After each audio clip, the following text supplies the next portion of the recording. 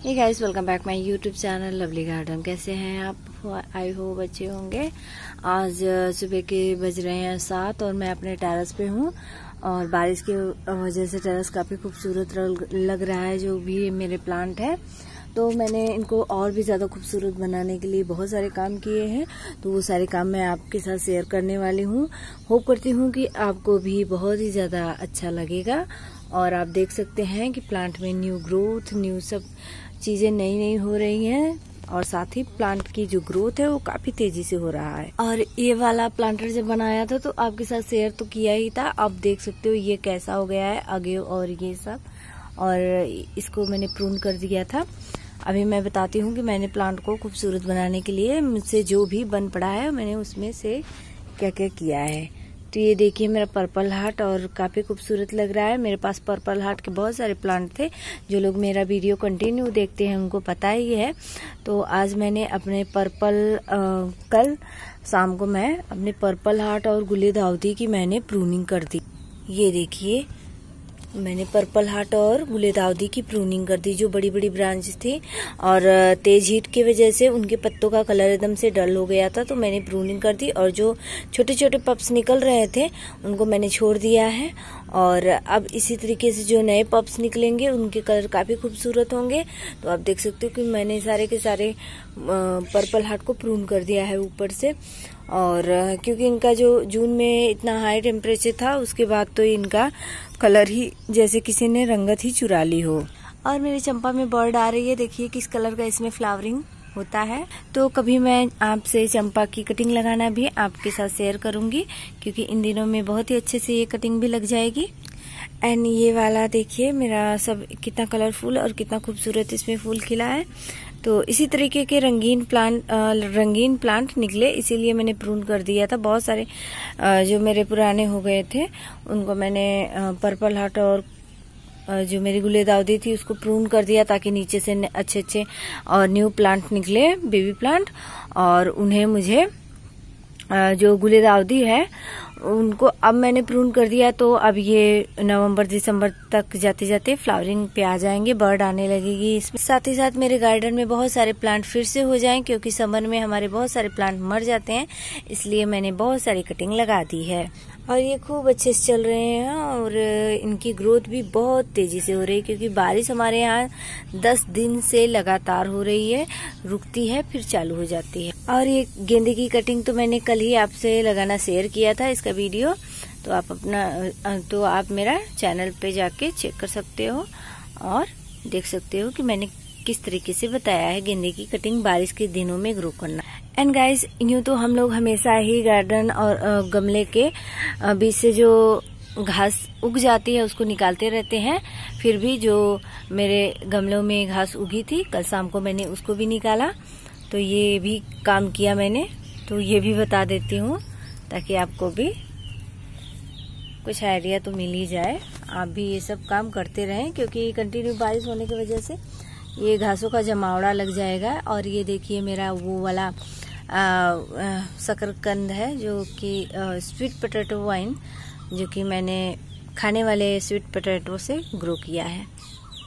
और मेरे ixora plant में बहुत सारे फूल आ रहे हैं। कंटिन्यू आप देख सकते हो। और ये सब?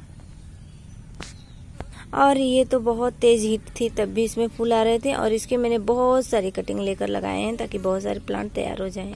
और ये वाला मेरा प्लांटर आप देख ही सकते हो, इसको भी प्रून कर दिया था तो इसके जो छोटे छोटे पप्स हैं कितने ज़्यादा कलरफुल और इसमें मैंने कोलियस की कटिंग वगैरह और ये मोस रोज ये सब लगाए हैं और मोस रोज तो आपको पता है इस तरीके से झुक जाएगा और ये कितना ज़्यादा प्यारा लग रहा है देखने में।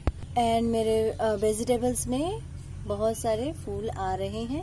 हाँ तो देखिए, ये स्वीट पोटैटो वाइन जो देखने में काफ़ी खूबसूरत लग रहा है इस रेनी सीज़न में।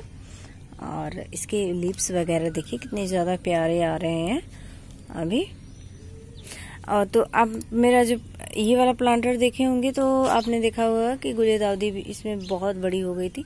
तो देखिए, सब प्रून वगैरह कर दिया है और यहाँ पे पर्पल हार्ट भी बहुत सारा था। उसको भी प्रून कर दिया है ताकि नए पर्पल हार्ट निकले जो कि काफ़ी खूबसूरत होते हैं और ये मोस रोज आप देख ही सकते हो कि किस तरीके से ये नीचे इस तरीके से लटक गया है। अब जो भी गुलेदावती के नए प्लांट निकलेंगे छोटे, वो काफ़ी अच्छे होंगे, हेल्दी होंगे, क्योंकि समर में पत्ते बर्न हो गए थे तो वो पानी पड़ने की वजह से काले हो गए थे तो अच्छा नहीं लग रहा था देखने में। और ये सारे के सारे मैंने जो खाली पॉट्स थे मेरे छोटे छोटे उनको मैंने भर दिया है कुछ न कुछ लगा के। तो ये मेरा देखिए रंगूर कीपर है। देखिए इसका फूल कितना अब कलरफुल आने लगा है और ये फाइकस की एक वैरायटी कितनी बढ़िया। मैंने रंगूर कीपर को भी प्रून किया है क्योंकि इसमें पहले, बहुत पहले से ही फूल आ रहे हैं और फूल की वजह से फूल जो पुराने हैं, झड़ गए थे। तो इनको प्रून करना बहुत ही ज़्यादा ज़रूरी था तो मैंने बस प्रून कर दिया है। इसकी ब्रांचेस तो नीचे नीचे तक लटकी हुई हैं। और ये मेरा चमेली का पौधा प्रून किया था। अब देखिए यहाँ से कितनी बढ़िया बढ़िया ब्रांचेस आ रही हैं।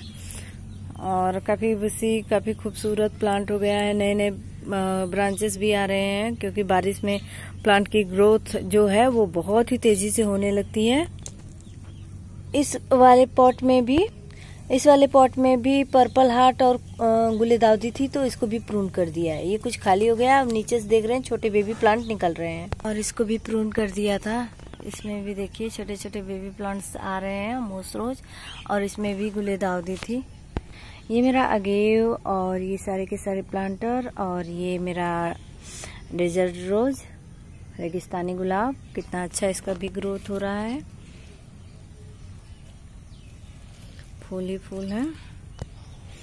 और इसमें पानी एकदम से नहीं रुकता है, पानी न रुके इसके लिए मैंने एक साइड से इसको थोड़ा सा नीचे से ईट के टुकड़े लगाकर ऊँचा कर दिया है। और ये मेरा खरबूजा एक खरबूजा पक गया उसको मैं खा ली और ये दूसरा है। और ये मेरे सारे के सारे प्लांट कितने ज़्यादा खूबसूरत लग रहे हैं कितने ज़्यादा रंगीन हरे भरे। जैसे कि इनकी जो आ, ये कितने उदास थे पर इनकी सारी उदासी ख़त्म हो गई क्योंकि भगवान जी ने इतना अच्छा बारिश कर दिया इनके लिए।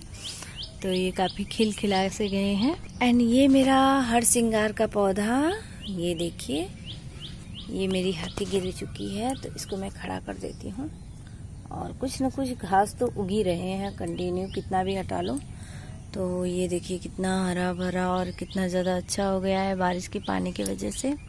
तो बारिश का पानी तो समझ लीजिए हर तरीके के फर्टिलाइज़र वगैरह सबसे अच्छा होता है। और ये मेरा पाउडर पप का प्लांट काफ़ी अच्छी ग्रोथ, इसकी काफ़ी हाइटेड हो गया है, काफ़ी छोटा लाए थे मेरे हस्बैंड इसको।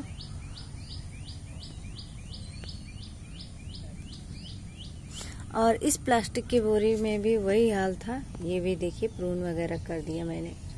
तो इसी तरीके से मैंने कुछ काम किए ताकि जो मेरा अब ये गुलेदावदी का पौधा है और ये पर्पल हार्ट है, इनके जो नए प्लांट निकले वो काफ़ी रंगीन हो जैसे इस तरीके से, क्योंकि आ, समर की वजह से ये सब बेढंगे बे रंग के हो गए थे। तो होप करते हैं गाइस आपको हमारा ये वीडियो बहुत ही अच्छा लगेगा। आप भी ऐसा कुछ काम करिए अपने गार्डन में। नेक्स्ट वीडियो में फिर मिलेंगे तब तक के लिए बाय हैव नाइस डे